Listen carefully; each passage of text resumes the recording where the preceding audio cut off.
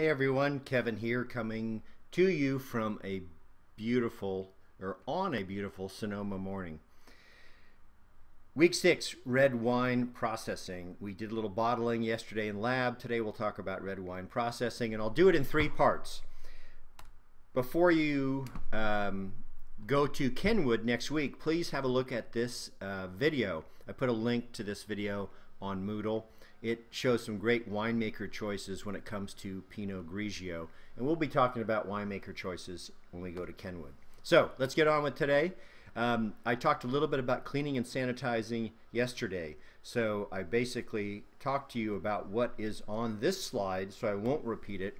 But I will say on the next slide that when you sanitize, there are a couple of choices. What we're trying to do is kill microbes after we get rid of the dirt and you can do kill microbes with high temp, high temperature, or with chemicals.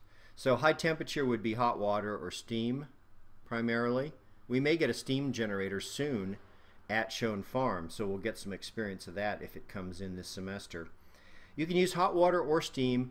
The amount of time you apply the hot water or steam is determined by uh, how hot it is. It's it's you can kill microbes either with hotter temperatures or with more time. So lower temperatures require more time. If you if you want to use chemicals, there are lots of choices.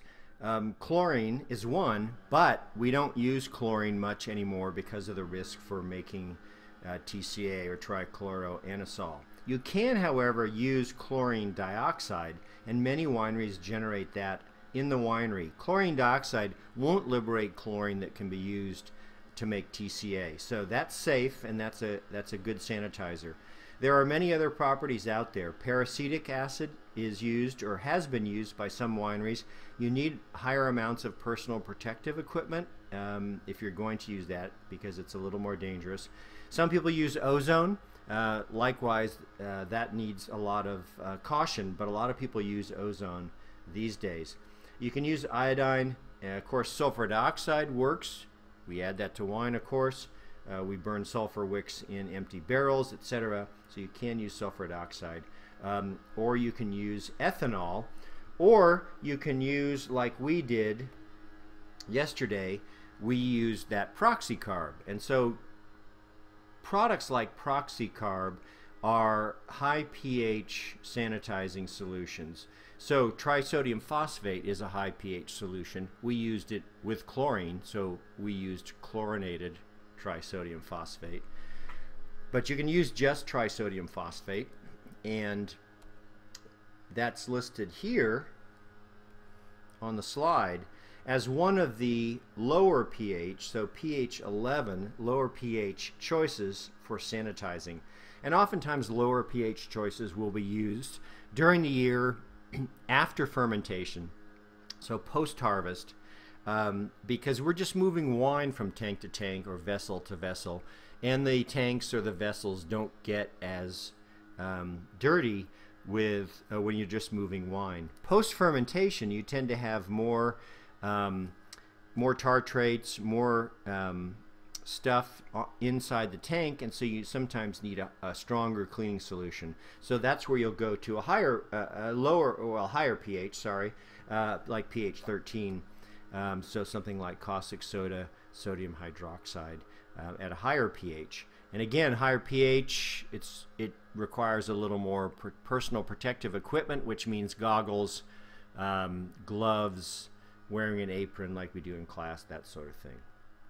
So, uh, those are a couple of the uh, chemical choices that are commonly used in the winery. So we will be talking about that as we get further along this semester. Let's move on to the next topic, which is the Grape Crush Report. So it just came out, comes out in February every year, and talks about uh, the results of the, the prior harvest. Uh, the state is divided into 17 grape growing districts shown here on this map and if we zoom in on the next slide you can see Sonoma County is District 3. If you Google California Grape Crush Report you'll get um, the website comes up easily and there's a summary report which is just a PDF document and then you can download the Excel spreadsheet Um, it's actually, uh, I think, eight different spreadsheets that have tons of detail about which varietals have been crushed, how much people paid for them, what the Brix were when they were crushed. There's all kinds of details. So it's pretty interesting stuff. Um, I'll show you a couple highlights. Here's one. In 2014, we crushed uh, 4.2 million tons of grapes in California. So 4.2 million or um, 4,160,000 exactly, but rounding to 4.2 million. And that's divided up with white wine, between white wine, red wine, table grapes, and then grapes that are grown just for raisins. So you can see we were down a little bit from the big harvest in 2013, but still over uh, 4 million tons. So I, I tend to think, um, as a rule of thumb, that we're somewhere around 4 million tons typically. If you look at what we crushed, Chardonnay is the winner. And Chardonnay is the winner in our county as well, as we'll see in a sec. But 17.2% of the crushed tons were Chardonnay. Cab Sauv comes in next, and this is statewide. Cab Sauv comes in next. Then you see uh, Zin, still big. White Zin and red Zin, of course. Um, that's next would be French Colombard, grown primarily out in the Central Valley uh, for bulk white wines. And then Merlot. Uh, Pinot Noir comes in next. So Pinot Noir still hasn't caught Merlot, but uh, of course there's a lot more Pinot Noir planted than there was 15 years ago or so. And then you see the other varieties here as well. So you can get all those details on the crush report.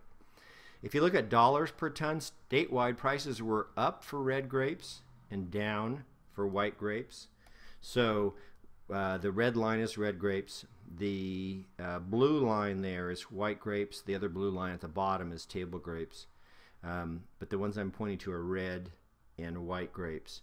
Um, the number, the, the orange line in the middle is all types of grapes crushed. So statewide prices a little up for reds, a little down for whites from 2013 to 2014. Sonoma County only, it's interesting to look at what we crushed. So these are tons crushed. And look at Chardonnay again is the winner at 86,000 tons. Um, if you look at the list of whites, this is a fairly complete list. I took out some of the whites that have very small numbers. But Chardonnay is the big winner. Sauv Blanc is next. And then it drops off quite a bit. Uh, the next biggest one would be Pinot Gris, right there. And it's interesting to look at what else is on the list and think about um, what you want to might want to make when you become a winemaker or work in a winery. There's some interesting varietals on here, um, some of which don't get um, a lot of press, but some of which are up and coming, like Albarino, the first one on the list, used in Vinho Verde in Portugal, and an up and coming wine, especially in the wine bars of LA where I used to uh, used to live. Um, so let's go on and look at red grapes in Sonoma County. Tons crushed. So the winner there is Cab Sauv, 46,000 tons. So again, if you go back to uh, Chardonnay, we were at 86,000. So Cabernet, 46,000, bringing in second place. In our county, Pinot Noir is huge, and that's at 47,000 tons. Um, and actually is higher than Cabernet. Now, I believe that's, I hadn't noticed that, and I believe that that is uh, the first year that that's the case, but I will go back and check prior year numbers. So interesting that uh, Pinot Noir is ahead of Cab last year. So very good. And then you look at uh, Merlot, of course, still big. Um, Syrah bringing in um, fifth place, actually. Zinfandel is fourth place at uh, 15,000. So Pinot Noir, Cab, Merlot, Zin, and then Syrah. Okay, so you can get a lot of more detail out on the crush report.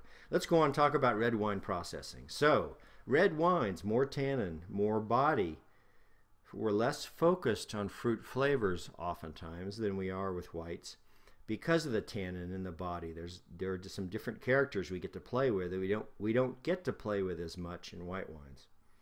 We can make reds with low, no, or lots of oak character. and they can be dry, off dry, or very sweet. But as you know, they're usually dry. We can make the something like late harvest zin and make it very sweet, but oftentimes dry. The phenolic compounds in grapes are antioxidants. And so we talked about phenolic compounds a little bit. I'll, I'll, I'll tell you again what defines that. Chemically, it's that six-membered ring that has that OH group on it. And we had some double bonds in the ring as well. That, that structure there is called phenol. And that's a generic structure and there are many, many different compounds that start with this basic structure and then they add to it so that there'll be a very complicated molecule but part of the molecule includes this phenol structure that I've shown here. And that defines the whole class of compounds called phenolics. And we also call them polyphenolics oftentimes because there are several or at least two phenol structures within the compound. And then you link phenolic compounds together oftentimes, and you've probably heard about polymerizing tannins to make large tannins, to make large molecular structures. And when we polymerize phenol groups or phenol molecules, we make polyphenolics. So you see that a lot. Phenolic compounds are in the skins of grapes. We, we uh, ferment reds in contact with the skins, of course, in order to extract a lot of those phenolic compounds. You could do the same with whites, but you typically don't want phenolic compounds in your white wine, which impart a harshness and a bitterness that doesn't complement flavors in white grapes, but does beautifully in red grapes. The red coloring is also a phenolic compound, and that, of course, comes from the skins as well. Phenolics are antioxidants, so they will react with oxygen. They'll absorb some of the oxygen that gets into um, wine during fermentation, that gets in through the cork in a bottle, that enters a barrel. Some of that oxygen we, we want specifically because it helps polymerize phenolic compounds. It polymerizes tannins and softens them. So part of the aging process is allowing a little bit of oxygen in to help polymerize phenolic compounds. When you the, the flip side of that is that phenolic compounds can protect against oxidation because they absorb oxygen. They'll react with oxygen and keep oxygen from reacting with ethanol to make acetaldehyde, which is that nutty or apple cider flavor. It'll, it, phenolics will prevent oxygen from reacting with uh, fruity compounds that give us our fruit flavors, and uh, they'll keep the they'll keep the wine fresher. So because reds have naturally have higher antioxidant capacity, we call it, have higher phenolics, so they have higher capacity for absorbing oxygen. Therefore, reds are not as sensitive to oxidation as whites. And so back to the slide here, they can be harvested under warmer temperatures. We often harvest at night still, and part of that's because we want to preserve the freshness in the red grapes just like we do in whites. But we, we can harvest under warmer temperatures. When we get to the winery, the process starts with reds being weighed and sugar tested just like whites. We going on to red crush, we tend to think of crushers as optional for whites because we often will whole whole cluster press whites. In other words, we bypass the crusher and put the red clusters directly in the press. We don't usually don't do that for reds. Well, I would say we always don't do that for reds because we, we're not going to separate the red juice from the skins. We're going to do at least some of the fermentation with the juice in contact with the skins. So crushers and destemmers are optional for whites, but always used with reds. Now, we can sometimes destem in our crusher destemmer, but maybe not necessarily crush. So we'll look at, Ken will, will look at the crusher destemmer up close and you'll see the rollers at the bottom of the crusher destemmer.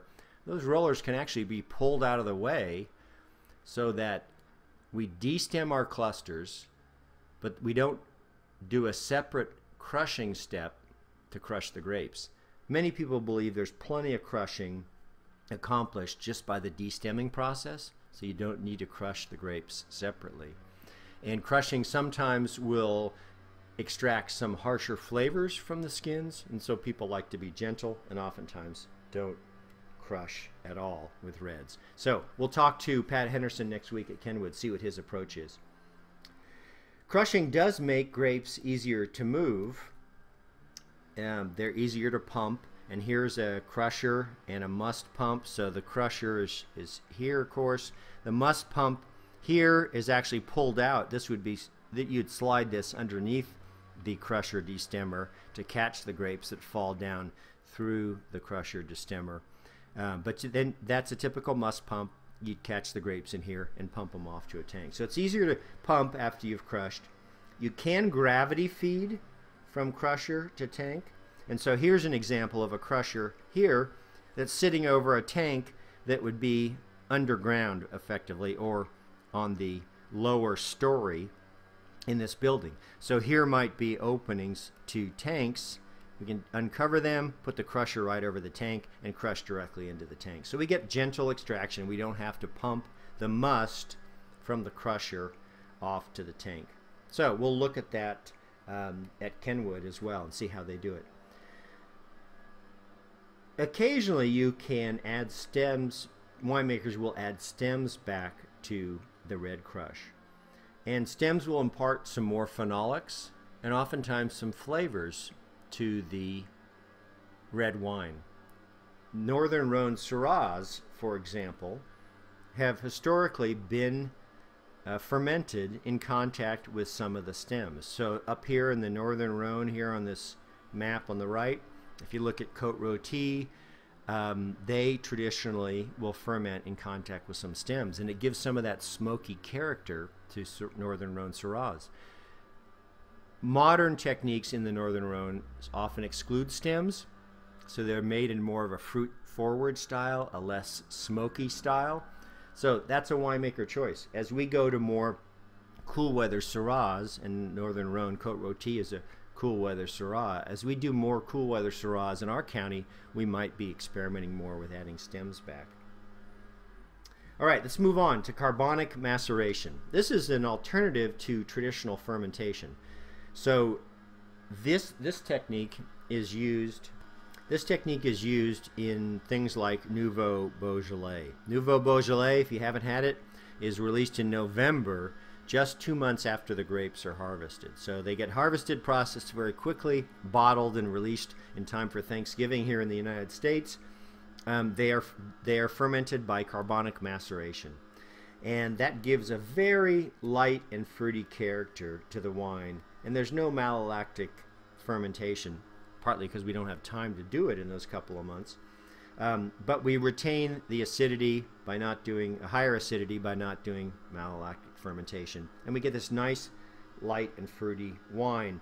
Often tastes a little bit bubblegummy, um, a little bit of banana character, those fermentation esters that are produced by yeast during fermentation. Remember we talked about those five buckets of flavor, one of which was fermentation esters produced by yeast during fermentation.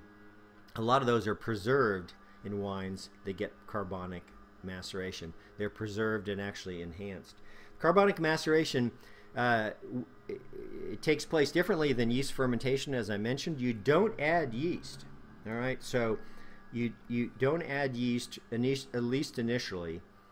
There's an intracellular fermentation that takes place. In other words, the grape does a fermentation inside the berry. So you do not crush the berries. You let this intracellular fermentation takes place. It's a different process than yeast would use to make alcohol. But the grape then converts about one-fifth of the sugar to alcohol and CO2. It also produces more glycerol um, you get less extraction because you don't have the skin juice contact that you have. You don't have the, the same extent of ju skin juice contact like you would have if you crushed the grapes. So grapes are uncrushed. You do this intracellular, in, intra, um, intra grape fermentation, that produces this characteristic bubblegum strawberry jam kind of aroma. If you've never had it, I recommend getting a Nouveau Beaujolais. It's fun to try. The way this works is the, the, the grape will consume about a fifth of the sugar intracellularly inside the grape and inside the intracellular and inside the skins. Once that's done, you will actually press the, re the remaining juice out of the grape and then fermentation takes place like normal. So if you can you can picture the grape is intact, you let it do the carbonic maceration, about one fifth of the sugar is, is consumed. Then you break open the grape and then you finish consuming the remaining four fifths of the sugar by a normal yeast fermentation. At that point you can add yeast or you can of course do an indigenous fermentation if you want. Uh, but that's how carbonic maceration works. Sometimes um, people will do carbonic maceration on purpose for, for wines other than Nouveau Beaujolais, and they might do 10 to 25% of the clusters by carbonic maceration. It gives a little bit of flavor impact, not as much as the full Nouveau Beaujolais will get by doing carbonic maceration with all your grapes. But you can do it with Pinot Noir, you can do it with Gamay grapes if you'd like, do a partial carbonic maceration. Finishing up this section then, I just wanted to um, give you a heads up to this uh, video here. It's a nice look at night harvest at our local Radio-Coteau winery. Um, it's a very artistic look at night harvest. This was I was going to show you this during class just to to break up the lecture. Uh, I'll let you go out go out and watch it on your own, but not required. Just a nice nice artistic um, look at night harvest. So that finishes part one. Uh, I will put this on YouTube and then we'll pick up with parts two and three. Thanks for watching.